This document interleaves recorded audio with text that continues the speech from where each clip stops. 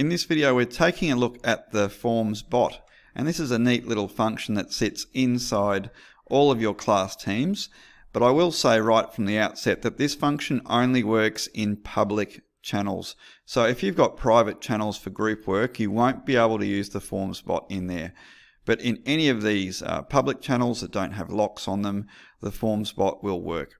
Now the way that we use the Forms bot is to ask one simple question. And so examples might be, how are you feeling about today's lesson? You could use it as an exit card. You can use it as a voting tool, as a way for the class to submit their vote um, so that you can make an educated and democratic choice.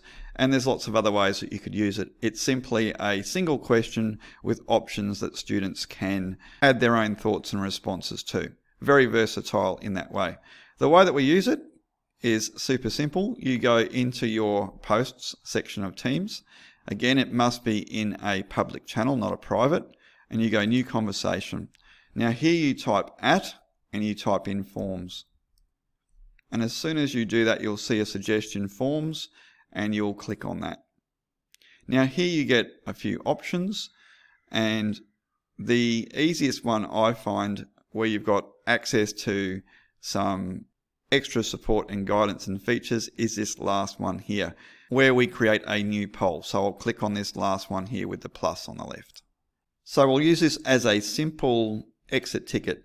Now there are other ways you can do it using the Reflect tool, but I'll show you how you can customize this type of a, a workflow using the Forms bot to create your own exit ticket. So here I'll go, how well did you, and you can see how we've got some AI kicking in as soon as I've posted that at the top, it's starting to give me some suggestions. So how well did you complete today's task? And I'll go at all, or I can just go through and manually drop some in. So I'll go at all, and you can see what it's done there.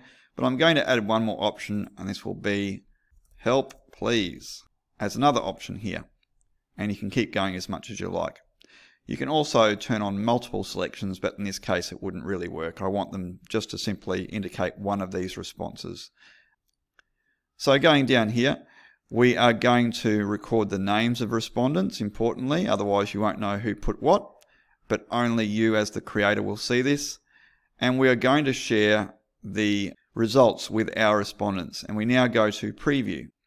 So this is what it will look like to the students. And if I want to, I can go back and hit edit. We can test the form. And if we're good to go, we'll hit the send button. So that's now been sent. And if I scroll down, you can see that this has been added in here. There's our form that students will see. They might also get an alert that this has been added. Now you're probably wondering where do we see this data when a student completes it? So this is me now in a student account. So I'm in a private window. And if I go up as a student, I can click that I went somewhat well today and I can submit my vote. So we can see that one student, myself in this case, has chosen this as a response, but we don't know who this person was. So in that sense, it's anonymous to the class. I'll now jump back into my team view and you can see here that it's the same thing. I can see what the students have submitted but I can't yet see who indicated what.